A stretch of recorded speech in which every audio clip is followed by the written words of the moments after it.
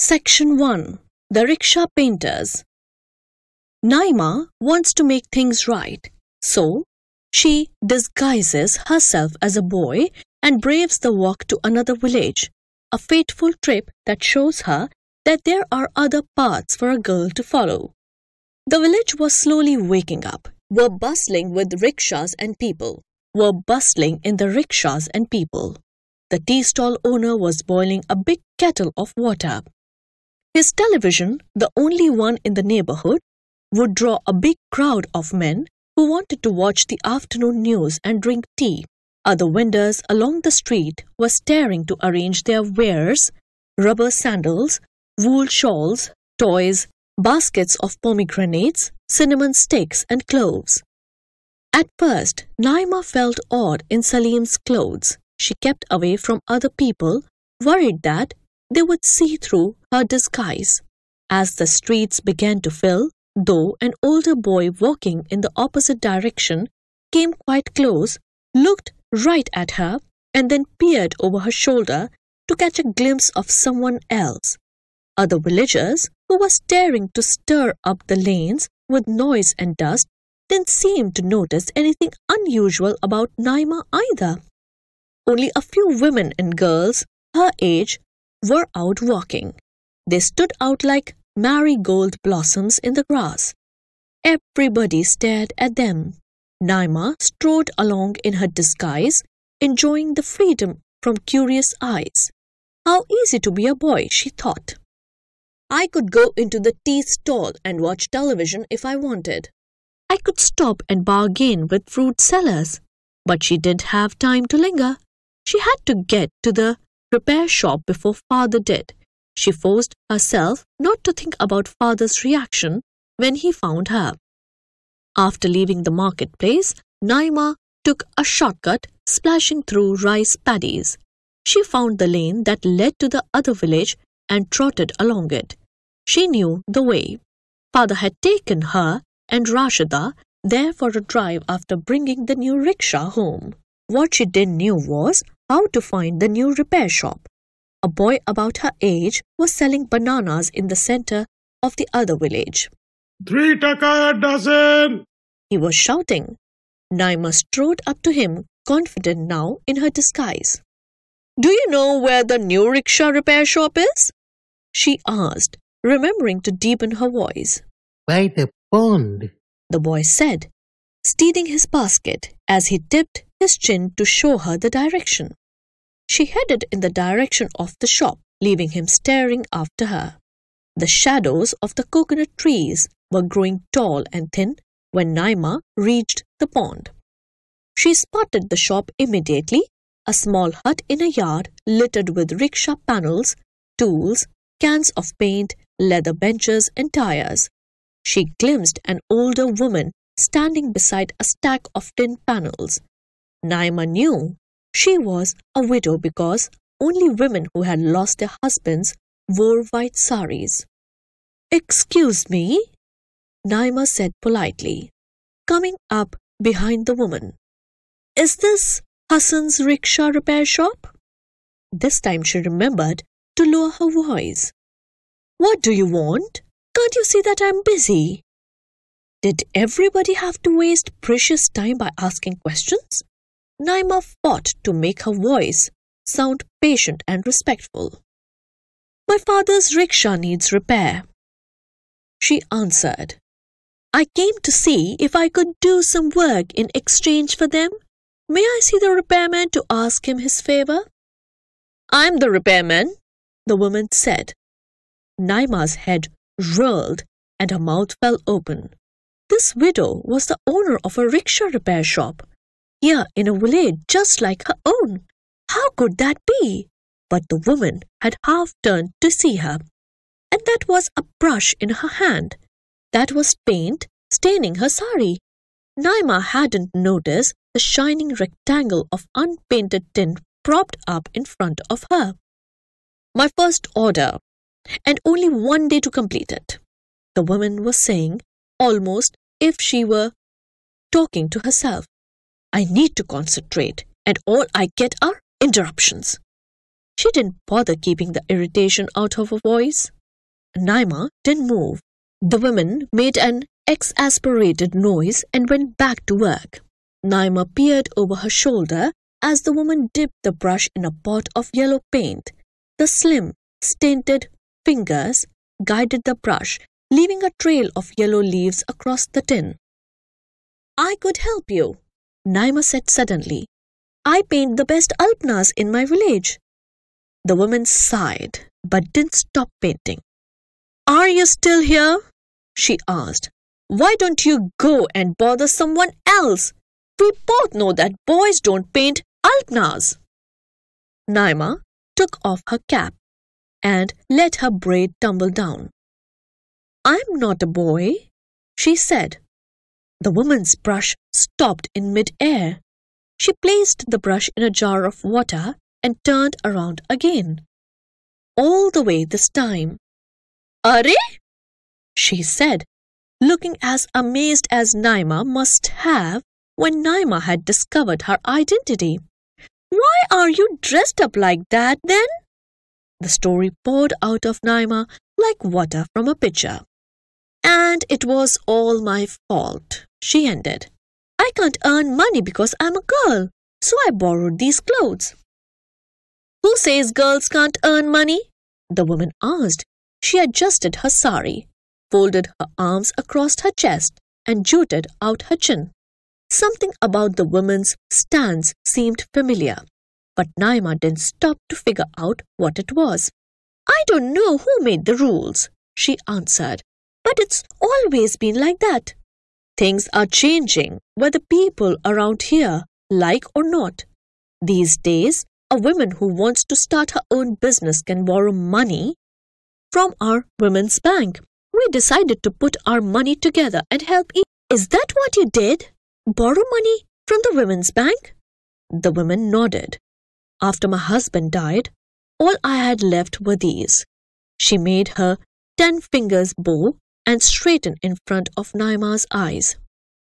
Thankfully, while my father was teaching my brothers the trade, I always tagged along and learned everything I could. Neither of my brothers wanted to run the shop, so father closed it down before he died. He had no idea I would be the one to open up it again. Are you making money? Naima asked eagerly, not bothering to wonder if the question was rude. It felt like the most important question in the world. The women didn't seem to mind. I've only been open for a few days. This orders for my cousin Ali's rickshaw fleet. If he likes my work, he's promised to give me more business and spread the word. People have always followed Ali's lead. As she listened, Naima caught sight of an old-fashioned rickshaw. It was freshly painted with borders of orchids and lilies and water hyacinths outlining each panel. The words Hassan's Rickshaw Repair Shop were emblazoned on the back panel, and each of the side panels declared, The best work at the best prices. The painter had used bright yellow paint to form the perfect Bangla lettering. Something about the borders that decorated each panel reminded Naima of an Alpna design. Meanwhile, the rickshaw woman was studying Naima's hands. Hmm, she said thoughtfully. I could use some help. Ali won't give me more business if I don't finish by tomorrow, even if he is family. Painting a rickshaw panel from scratch requires a lot of training, but I might let you try touching up one of the panels that still looks somewhat decent. She moved her fingers quickly down the stack, stopping atop a tap, a corner of tin about half away from the ground. Take this panel and let me see what you do with it. It won't take me much time to fix if you made too many mistakes, but watch me for a while before you start.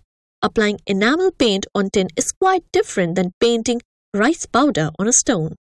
The woman lit a few kerosene lanterns and went back to her painting. Naima watched the woman closely, noticing how much paint she placed on the brush and the way it was supposed to be held in the hand. After a while, Naima gathered her courage. She carefully moved a half dozen panels one by one, making a new stack beside the first one until she uncovered the faded one the woman had tabbed. Placing it on the ground by itself, she squinted at the painting. A border of marigolds edged their way around the whole rectangle. They framed two white doves perched on a rock beside a pond. Close by, a tiger was bending his head to drink. Taking a deep breath, Naima squatted in front of a panel. She chose a clean brush and dipped it into the pot of orange. She gripped the brush firmly, just as the woman did, and started painting. It wasn't hard to follow the original painter's lines. After finishing the flowers, she cleaned the doves, dirty feathers, with a coat of fresh white enamel. She brightened the yellow stripes on the tiger's fur. With a wider brush, she splashed blue across the pond, making it sparkle like the one on the back of father's rickshaw. I'm finished, she called out when she was satisfied with the painting. The woman came over and Naima held her breath. Would her work be good enough? There's a mistake here and there, the woman said, patting Naima's shoulder. But it's actually quite good. I'll fix the mistakes later. Let's keep working, shall we? We must might complete this order if we both keep going. Naima nodded her agreement. The woman chose another panel from the unfinished stack and Naima started painting it. She smoothed the curves of petals. She straightened the tips of stars. She tidied the tails of fish. She washed the brush again and again. We did it, the woman said finally, her voice jubilant. Ali is going to be delighted. Naima had touched up four faded panels. The woman had fixed Naima's mistakes, as well as completely cleaning, scraping, and repainting eight panels.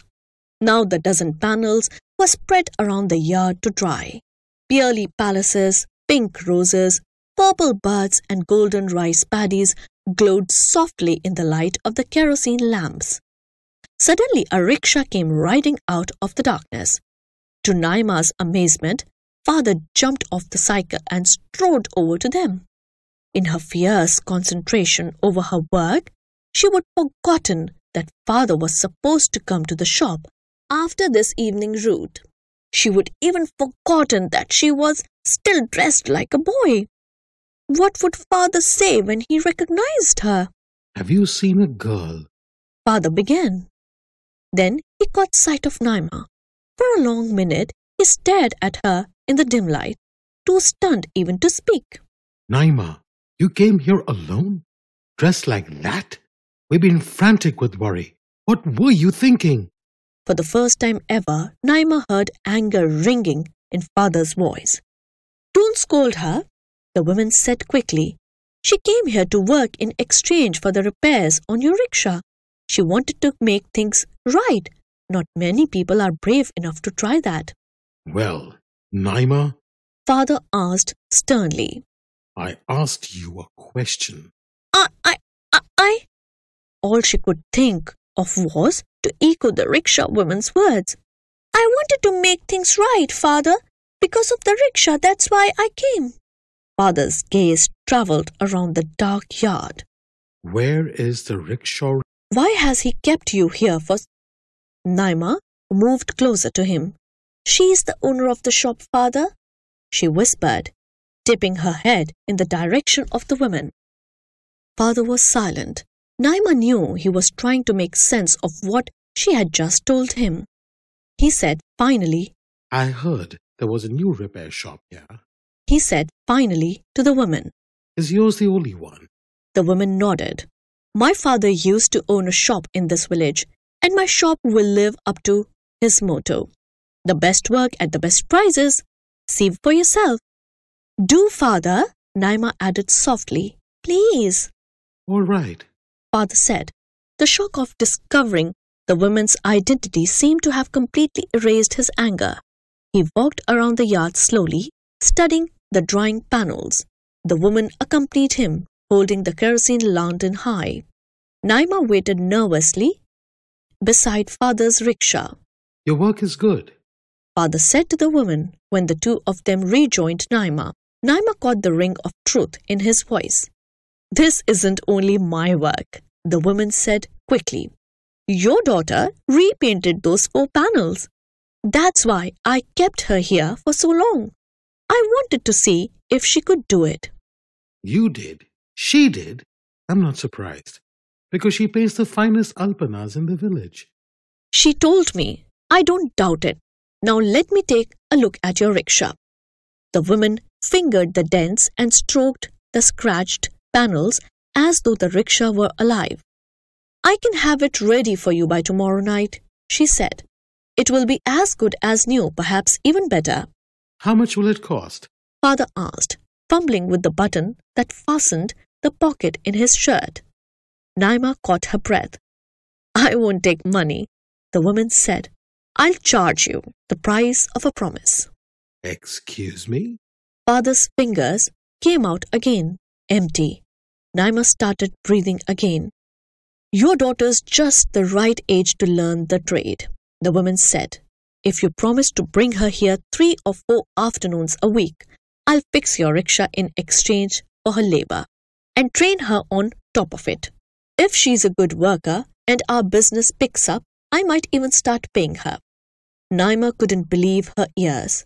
Could this be happening? Had the woman really said our business? But then she realized that father was quiet. He was looking at Naima almost as if he were asking her a question. Naima didn't say anything, but she let her longing to take his chance show on her face. Father turned back to the women. What about your sons? He asked. Don't they want to be trained? They could run the shop for you one day. My daughters were married years ago. Both are busy with their own lives in faraway villages. I have no sons. Neither do I, said father. But you do have a daughter with talent. I would like to train her to paint rickshaws. Naima kept her eyes on father. He would always insisted that daughters were as good as sons. Now he had the chance to prove that he meant it. His hand travelled once more toward his pocket but it stopped in midair, changed direction, and landed on Naima's shoulder instead. I'm proud to make such a promise, he told the woman. My daughter is a good girl. She learns quickly and will serve you well. Naima's mind raced ahead to the long afternoon rests father would take her before driving to the repair shop. A box of new paints, a butter yellow silk sari, a grey woolen shawl, and a pot of juicy rasgulla paraded before her eyes. She wanted to leap and shout and do a victory dance around the battered rickshaw. She wanted to throw her arms around it and plant kisses on the leather, tin, and tassels. But instead, she reached for father's hand and felt his fingers tighten around her. An extract from Rickshaw Girl by Mitali Perkins. Mitali Perkins has written many highly acclaimed books for young readers, including Rickshaw Girl, chosen as one of the 100 great children's books of the last 100 years by the New York Public Library, translated into several languages, soon to be released as a movie. Bamboo People and Forward Me back to you.